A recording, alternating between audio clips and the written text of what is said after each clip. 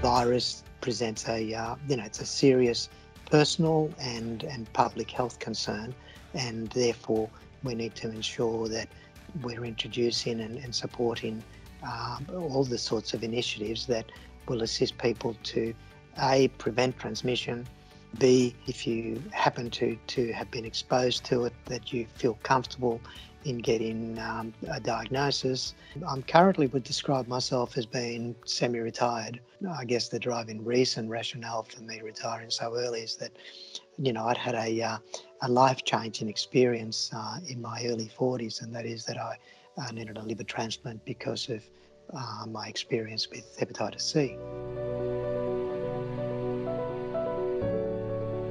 I was actually diagnosed quite by chance in many ways, but it got to a point that I just couldn't get up and I couldn't, uh, I couldn't sort of, um, you know, just do my, my normal sort of daily routine. I remember that uh, we lived in a, uh, a third floor flat in St Kilda. I was concerned about going downstairs uh, because there was no lift, so it was just stairs, and I, I used to sort of even to check the mail or whatever um, because I I would then sort of really struggle to get back up the stairs.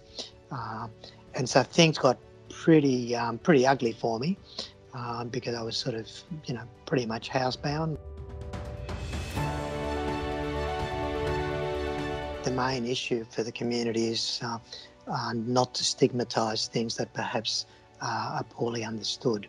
The virus doesn't doesn't uh, discriminate, and neither should we discriminate on people who for whatever reason might uh, be affected by the virus.